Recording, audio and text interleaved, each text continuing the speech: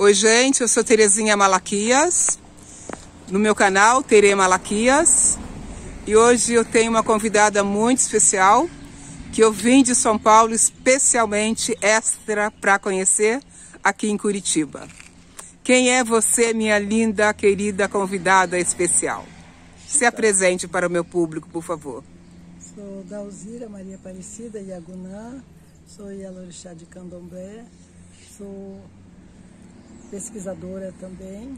Uhum. terminei a minha tese de doutorado, denominada Professoras Negras, Gênero, Raça e Religião de Matriz Africana e Neopentecostais nas, nas escolas públicas. Sim. E estou muito feliz com a minha, minha visita.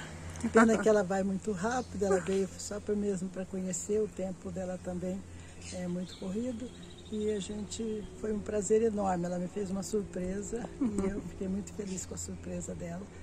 E estou aí tentando incentivar as minhas amigas, as pessoas da minha faixa etária para estudar. Nunca é tarde para aprender. Nunca então, é tarde para ir atrás do sonho, né? Não, assim, a gente vai, às vezes a gente espera tanto, é, desiste na metade do caminho, mas espero que eu encontre muitas delas no, na trajetória por aí fazendo uma universidade. Não que a universidade seja tudo, mas ela nos dá uma, uma fórmula que a gente não, não encontraria também, senão através dela.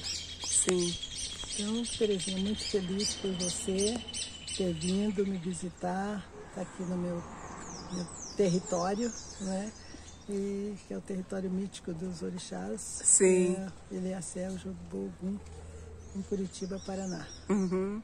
Eu que agradeço você, Iá, estou muito feliz com esse nosso encontro. Foi curtinho, mas foi maravilhoso e foi intenso. Muito obrigada por me receber aqui no seu lar, no seu espaço Imagina. e da sua família. Gratidão, toda sorte e sucesso para você. Axé. Axé. Axé.